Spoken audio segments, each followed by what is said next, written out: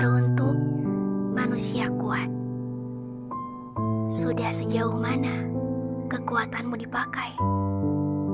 Sudah sampaikah di titik di mana kamu masih bisa tersenyum meskipun pahitnya hidup kamu rasakan?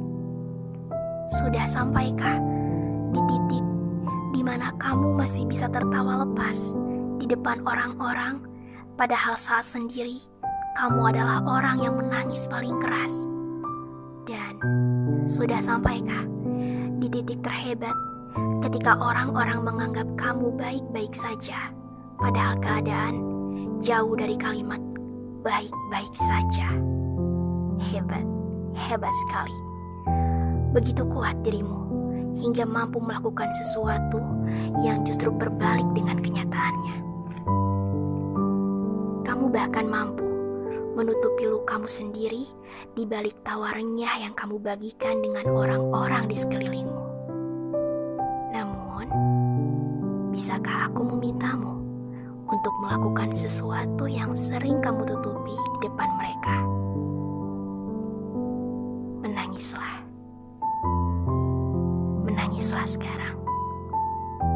Tak apa. Kamu tak lemah. Kamu teramat kuat hingga aku memberimu ruang saat ini untuk mengeluarkan perasaanmu yang sebenarnya. Aku tahu masalahmu berat. Aku tahu bebanmu berat. Aku tahu ujianmu berat. Dan aku pun sangat tahu kamu tidak baik-baik saja. Selama ini, yang mengerti keadaanmu adalah dirimu sendiri, bukan? Beberapa mungkin ada yang memberikan semangat, memberikan nasihat dan doa terbaiknya. Tapi apakah itu cukup untuk membuat keadaanmu baik-baik saja? Mungkin hanya beberapa persen saja untuk menenangkan hatimu. Selebihnya tetap, dirimulah yang mengubah keadaanmu.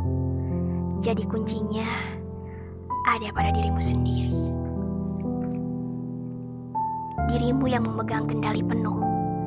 Hendak dibawa ke mana semua masalahmu, semua bebanmu, dan semua mimpi-mimpimu.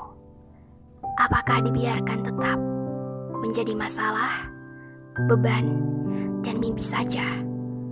Atau diubah menjadi solusi, tangga kesuksesan, dan sebuah pencapaian yang indah.